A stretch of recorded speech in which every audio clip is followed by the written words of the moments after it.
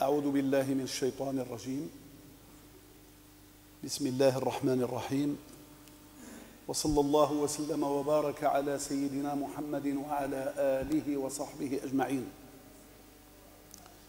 أما بعد فيقول الله تعالى محمد رسول الله والذين معه أشداء على الكفار رحماء بينهم. تراهم ركعا سجدا يبتغون فضلا من الله ورضوانا سيماهم في وجوههم من أثر السجود.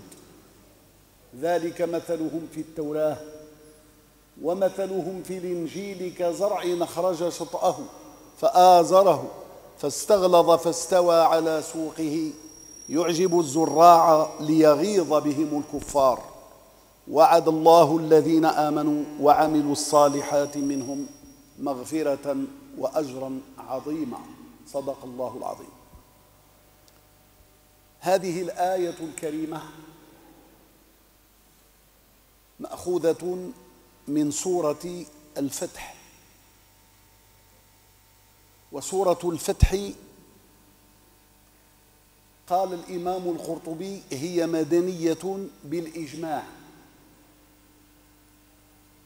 آياتها تسع وعشرون. كلماتها خمسمائة وستون. حروفها ألفان وأربعمائة وثمانية وثلاثون. نزلت بعد الجمعة. ترتيبها في المصحف الشريف بين سورتي محمد والحجرات. نزلت في السنة السادسة من الهجرة عقب رجوع النبي صلى الله عليه وسلم من الحديبية. نزلت دفعة واحدة بشأن الحديبية.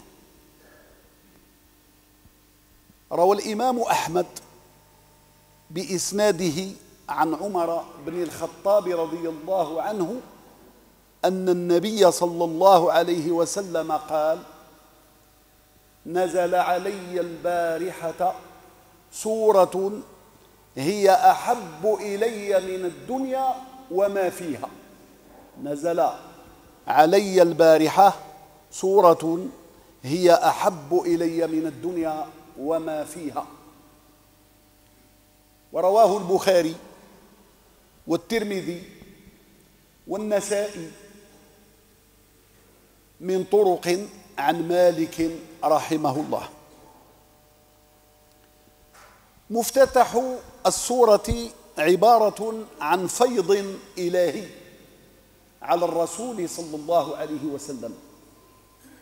إنا فتحنا لك فتحا مبينا ليغفر لك الله ما تقدم من ذنبك وما تأخر ويتم نعمته عليك ويهديك صراطا مستقيما وينصرك الله نصرا عزيزا. فيض إلهي على الرسول محمد صلى الله عليه وسلم. فتح مبين ومغفرة شاملة ونعمة تامة وهداية ثابتة ونصر مكين عزيز.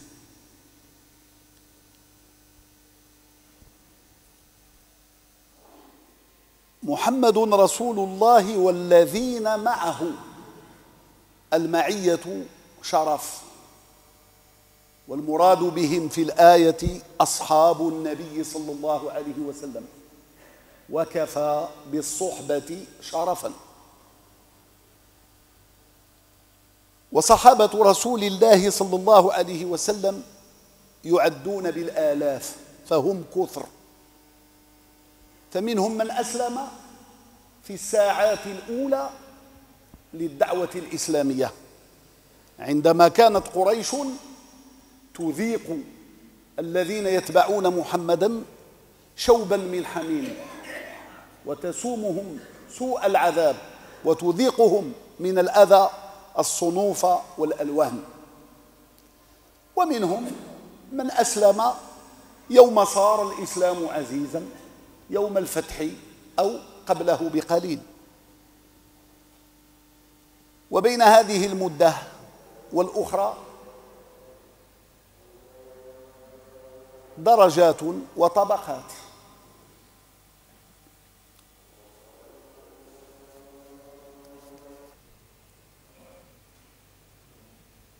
بين الساعات الأولى للدعوة ويوم أن صار الإسلام عزيزا طبقات ودرجات.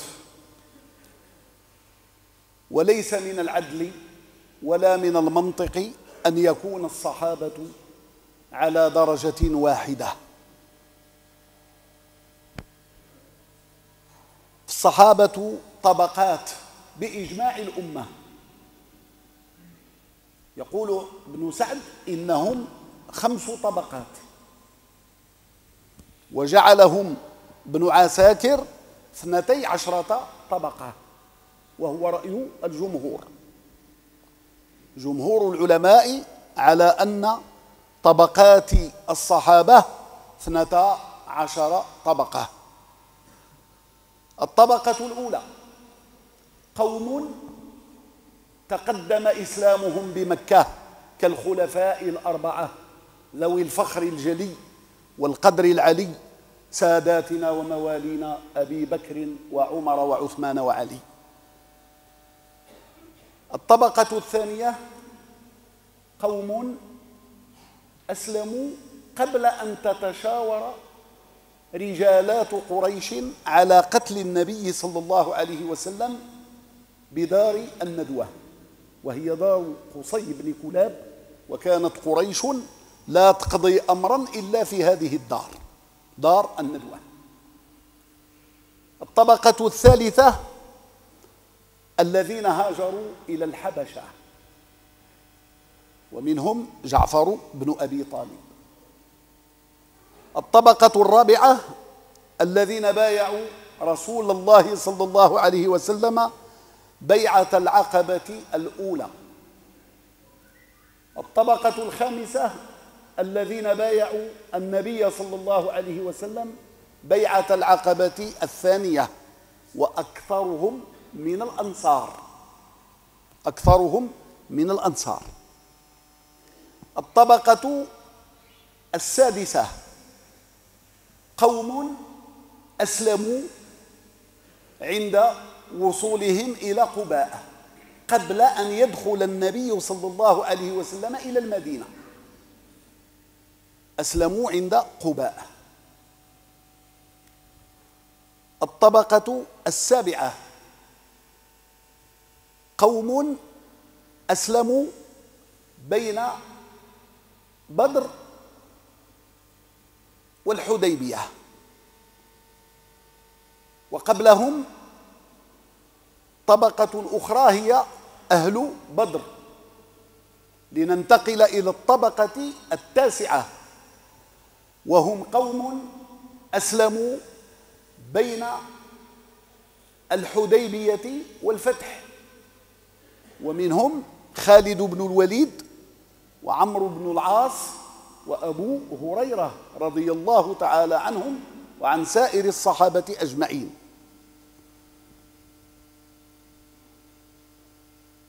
والطبقة الأخرى هي طبقة أهل بيعة الرضوان الذين بايعوا رسول الله صلى الله عليه وسلم تحت الشجرة فرضي الله تعالى عنهم. ثم الطبقة الحادية عشرة قوم أسلموا يوم فتح مكة كأبي سفيان بن حرب. والطبقة الثانية عشرة أطفال وصبيان رأوا سيدنا رسول الله صلى الله عليه وسلم يوم الفتح وفي حجة الوداع وغيرهما. إذا كان من المستحيل في محيط العقل أن يجتمع الضدان فإنه في مجال الشرع يجوز أن يجتمع الضدان. وقد جمع الله تعالى في قلوب الصحابة فيما بينهم الرحمة والشدة على الكفار. فقال جل من قائل أشداء على الكفار رحماء بينهم. لا يمتري عاقل في الصحابة وفي عدالتهم وتزكيتهم لأنه قد ثبت في حقهم ما يوجب لهم الثقة والائتمان. فهم الذين حملوا الوحيين الوحي المتلو والوحي غير المتلو. الوحي المتلو القرآن والوحي غير المتلو السنة. هم الذين نقلوا الشرع حملوا الوحيين وحضروا البيعتين. وصلى أكثرهم إلى القبلتين. وهم الذين يشكلون الجيل الذي حمى الملة من زحف المناوئين ومن أهواء الزائغين إنهم الجيل القرآني جيل فريد كما يسميه بعض المفسرين. إنه الجيل الفريد. إنهم نقلة الشرع الذين زكاهم الله تعالى وزكاهم الحبيب محمد عليه الصلاة والسلام. زكاهم الله تعالى في كتابه الذي لا يأتيه الباطل من بين يديه ولا من خلفه.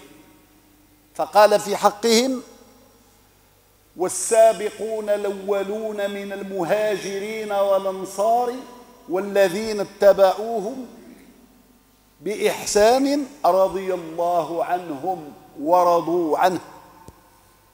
وأعد لهم جنات تجري تحتها الأنهار خالدين فيها أبدا. ذلك الفوز العظيم. وزكاهم الله تعالى بقوله والذين آمنوا وهاجروا وجاهدوا في سبيل الله والذين آووا ونصروا أولئك هم المؤمنون حقا. لهم مغفرة من ربهم ورزق كريم. وزكاهم الله تعالى بقوله للفقراء المهاجرين الذين أخرجوا من ديارهم وأموالهم يبتغون فضلا من الله ورضوانا وينصرون الله وينصرون الله ورسوله. أولئك هم الصادقون. والذين تبوأوا الدار والإيمان من قبلهم يحبون من هاجر إليهم ولا يجدون في صدورهم حاجة مما أوتوا ويوثرون على أنفسهم.